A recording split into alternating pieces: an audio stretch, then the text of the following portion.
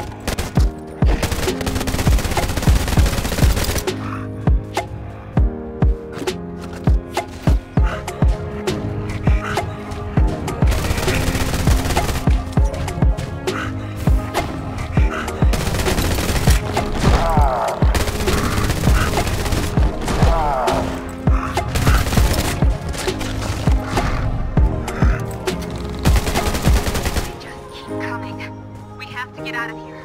Stay safe.